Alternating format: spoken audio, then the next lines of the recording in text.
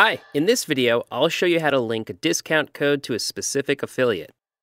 When a linked discount code is redeemed by a customer, the affiliate will be assigned the purchase and receive the affiliate commission, regardless of other promo links that may be competing with their claim. And why would you want to do that? Well, this feature is perfect for making your affiliate program even more attractive.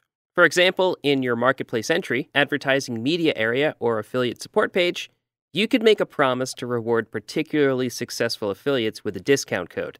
Your affiliates benefit from this because they can acquire customers more easily thanks to the reduced price, and because the discount code opens up a variety of other marketing opportunities for them that wouldn't be as easily achieved with a simple promo link. What's more, since your affiliates reap lots of benefits with such a discount code, you can easily make your affiliate program more attractive and generate a greater number of affiliates. Before you start, you must of course have already created a discount code. If you haven't done this yet, take a look at the video linked in the top right hand corner now. Once the discount code has been created in Digistore 24, go to Settings and Discount Codes. Here, click on the pen icon next to the code you want to edit.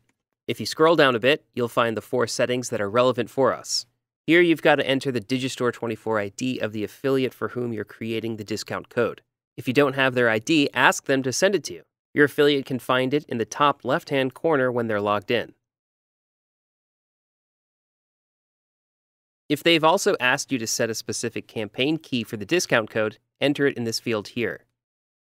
This setting here is then about which affiliate to use when a customer gets an upgrade that's referred by a different affiliate than the affiliate with this discount code here. If you don't know what I mean by upgrade here, I recommend you watch the video that's now displayed in the top right hand corner. If in any doubt, I would recommend you leave no selected here. Finally, you have to choose whether the loss of profit that you suffer due to the lowered price should be borne by the affiliate or not. This is one way to significantly reduce your risk. However, if you want to set this up, it must be explicitly communicated to your affiliate if they didn't approach you with this arrangement themselves, anyways. So make sure your affiliates know about this if you set yes here. If you're in any doubt, however, I would strongly recommend you leave it set to no. Once you're done, you can click on Save and finally send the discount code to your affiliate. Good luck! If you want to discover more ways to expand your affiliate program, just take a look at the playlist that's now displayed.